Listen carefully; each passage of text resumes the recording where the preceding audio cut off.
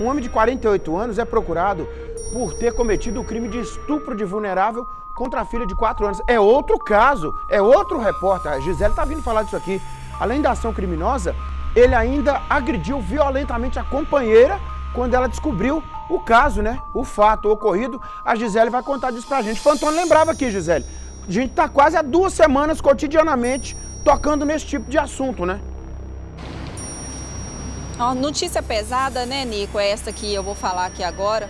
Olha só, a mãe desta vítima, desta criança de apenas 4 anos, contou para a polícia que saiu para trabalhar e deixou os filhos na casa de uma babá, com uma babá.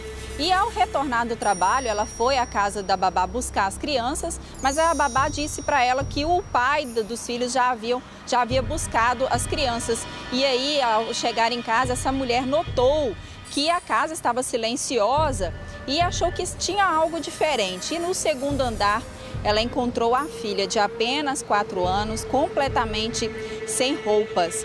E a mulher disse à polícia, Nico, que a criança, ao ver a mãe, correu, chorou e contou que o pai havia beijado e ainda é, colocado os dedos nas, nas partes íntimas dela. A mãe disse que a criança chorava muito e quando o pai percebeu que a criança contou né, este relato para a mãe, o homem agrediu esta mulher.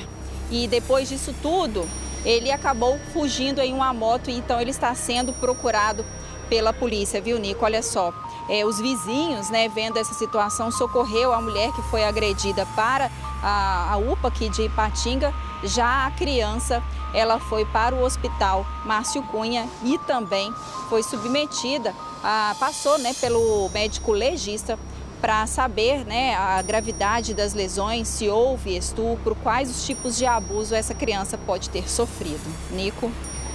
A gente entende, tá? A emoção do repórter, né, da repórter nesse caso, né, por ser mulher especialmente, né, contando um caso dessa envergadura e falar de uma criança de 4 anos indefesa, né, indefesa, né, e sofrendo o abuso de quem deveria protegê-la. É triste, é triste. É fazer o quê? Obrigado, Gisele Ferreira. Recupera aí, respira fundo, Gisele. É, você de casa está pensando assim, ah, eles chegam lá, só dão a notícia, porque o jornalismo fala que a pessoa não pode se envolver com a notícia. Mas a gente é humano, né? A gente é humano. A gente passa as nossas agruras também, né?